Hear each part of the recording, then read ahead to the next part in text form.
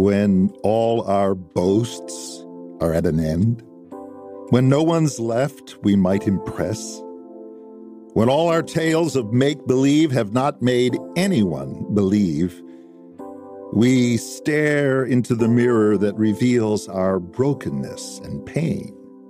Hard as it is, this is the moment richer life begins. Reduced by circumstance and time to being honest with ourselves, we reach for help we cannot give ourselves. All we, like sheep, have gone astray. We have all turned to our own way, and the Lord has laid on him the iniquity of us all. We fear such honesty will leave us lonely, loveless, miserable. But God sees in our honesty the genesis of life renewed.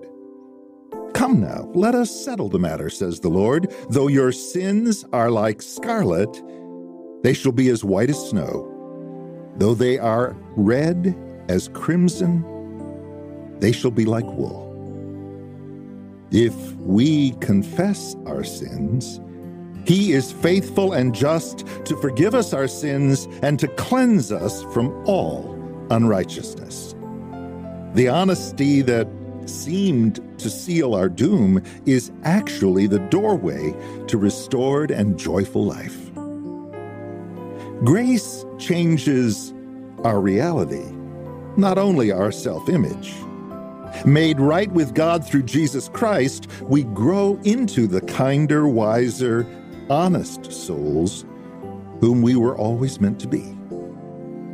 The mirror doesn't lie, and neither does the Lord. So stay in grace.